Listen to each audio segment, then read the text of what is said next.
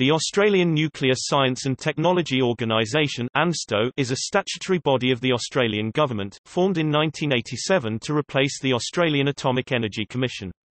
Its head office and main facilities are in southern outskirts of Sydney at Lucas Heights, in the Sutherland Shire.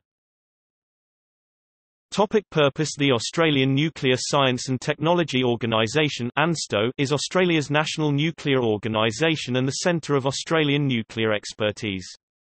The Australian Nuclear Science and Technology Organisation Act 1987 100th prescribes its general purpose. The purpose is translated into action through corporate drivers of vision, mission and strategic goals.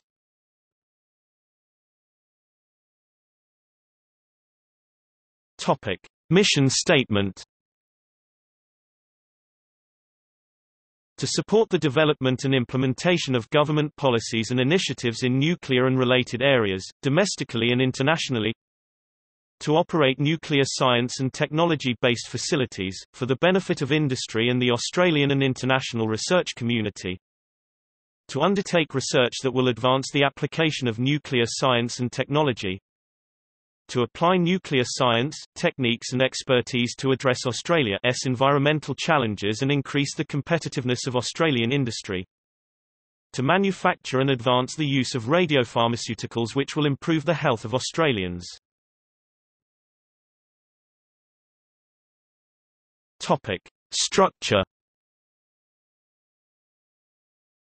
ANSTO is governed by a board of directors chaired by former CEO of BAE Systems Saudi Arabia, James Jim McDowell. Erica Smith from uranium exploration company Toro Energy is the deputy chair.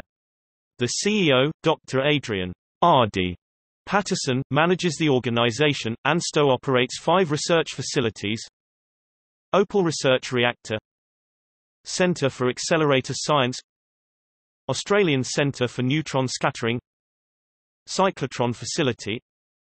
Australian synchrotron major research instruments include Particle Accelerator, Antares High-resolution neutron powder diffractometer, Echidna Lynx High-intensity neutron powder diffractometer, Wombat Strain scanner, Kowari Neutron reflectometer, PLATYPUSANSTO also manufactures radiopharmaceuticals and performs commercial work such as silicon doping by nuclear transmutation.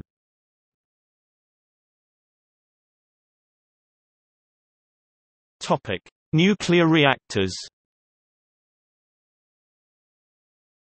ANSTO currently has two nuclear reactors on site, HIFAR and the new Opal from the Argentine company INVAP. HIFAR was permanently shut down on 30 January 2007. Opal became operational in November 2006 and was officially opened 20 April 2007.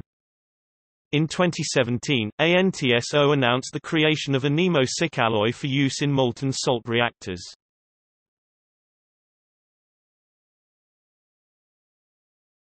Topic. See also Australian Radiation Protection and Nuclear Safety Agency Australian Federal Police Defence Science and Technology Organisation